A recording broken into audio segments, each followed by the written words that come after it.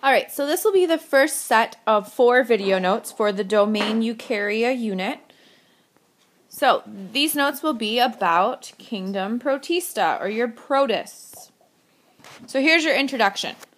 All protists are eukaryotes, which means they have complex cells.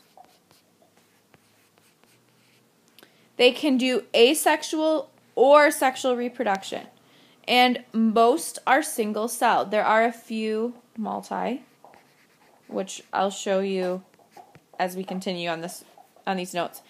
And the theory is they were the first eukaryotes on Earth. And they also must have moisture to survive. They cannot live in dry environments. So, in continuing with that first eukaryotes on Earth, there's something called the endosymbiotic theory or endosymbiosis. Well, you should remember that symbiosis or symbiotic is a relationship between two organisms.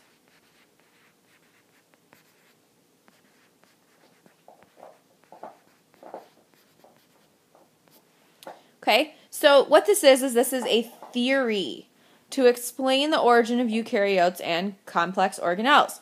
So the idea is a large prokaryote engulfed or ate a smaller prokaryote, and then they lived symbiotically. So it ate another one, they lived together. and then the idea is that they eventually evolved into a single organism or a eukaryote. So when you have one cell inside of another cell, like is shown in this picture down here, it's going to eventually turn into these organelles. So that's the theory behind the first eukaryotes on Earth. So, how do we classify a protist? So, they're classified on how they get nutrition. These are terms that should be familiar to you. So, animal like protists are heterotrophs, meaning they eat others. Plant like protists are autotrophs, meaning they make their food.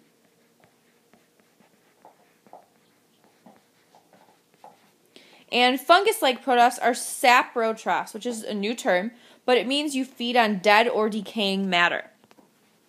First, then, animal like protists. Like I said, heterotrophs. They are single celled. All of your animal like protists are single celled.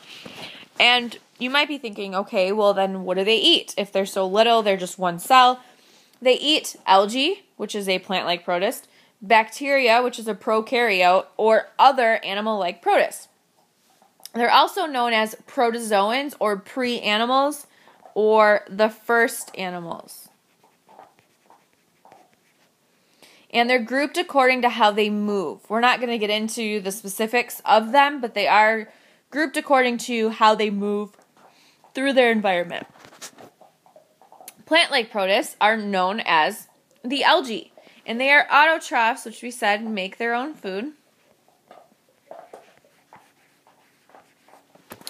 There's, they can be single celled or multicellular. This is where your multicellular protists come in. And they contain things like chlorophyll and other pigments that rely on the sun to create food. Fun fact as well your plant like protists actually produce 70% of the Earth's oxygen. And these ones are classified based on their color pigment and their structure. So here's the examples of how plant like protists are classified just so you can kind of see the variety. So you have your algae, algae, algae, algae, but kelp, which is right here, it's multicellular. Kelp is huge, big plants. Obviously, that's a scuba diver there, and that's a kelp plant. You also have your dinoflagellates, which cause your red tides that can happen. You have your diatoms, which are what's in your toothpaste. And then you have the euglenoids, which are in lakes and streams. So the last category of protists is your fungus-like protists, and these are known as saprophytes, sap, saprophytes, meaning they feed on your decaying matter and they absorb nutrition that way. Their cell walls have cellulose. And examples of these are things like slime molds, which is over here, water molds, or ick in fish. If any of you have ever had an aquarium, you should be very familiar with ick. It's like this itchy parasite that fish get. It actually makes them like rub their bodies against the sides of the tank when they get this. So, some important structures then about protists. The flagella, this is a term you should also be familiar with. It's a tail that helps them with movement. These are going to be your animal like protist.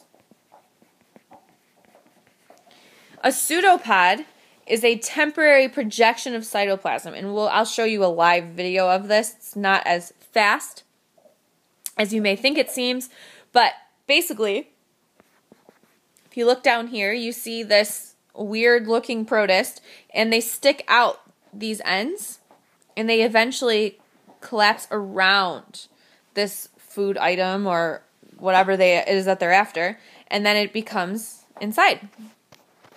Some other structures, cilia is like hair. Think about pili, which was on prokaryotes, same thing, like little hairs. These like flow back and forth. You have a macro and a micronucleus. The macronucleus, macro is bigger, micro is little. So a macronucleus is your main copy. A micronucleus is your backup copy. And then there's a contractile vacuole. So if something contracts, it's like squeezing. So the contractile vacuole, it looks like this little star here. It squeezes and pushes out all the excess water inside of the protist. As you know, protists live in moist environments, so they have to make sure they keep a stable amount of water in their bodies.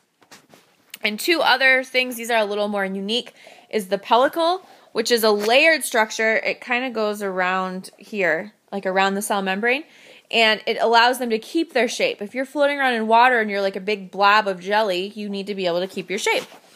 You also have a trichocyst. This is a pellicle type, which this is your pellicle, structure, and it actually projects. It's kind of like a stinger on like a stingray or something like that. And some protists actually will secure it into something while they're feeding. That way they don't float away. And those are your notes on protists.